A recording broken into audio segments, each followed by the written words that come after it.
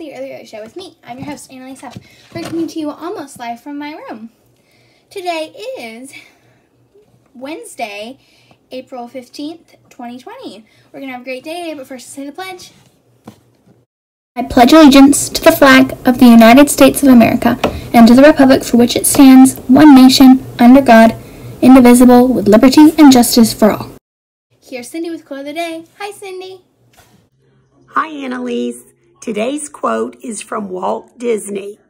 It's kind of fun to do the impossible. Here's Bella Mackey with the Bella's Binge Worthy Show. Hi, Bella Mackey. Hey Annalise! Hey Annalise! I'm Bella. I'm Maggie. And this is the Bella's Big Really Show. the show we're talking about today is Bunked, which is on Disney Channel and has the cast of Jessie in it. And it is a great show about summer when they go to camp. And it really reminds me of when I went to camp. So it's a great show and you should go watch it. Me and Mac watch it all the time. Yeah. Now back to you, Annalise. No. What? Bella, we forgot to say it's right behind us. Oh. Sorry. It's right behind us! Yes. now back to you, Annalise. Back to you, Annalise. In other news, here's today's spring fun fact. Did you know that your sense of smell can actually become more accurate in the spring due to there being more moisture in the air? So I think that's pretty cool. Here's Alex with today's daily food review. Hi, Alex.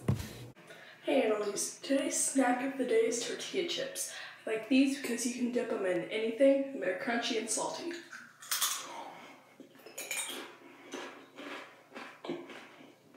Nine out of ten.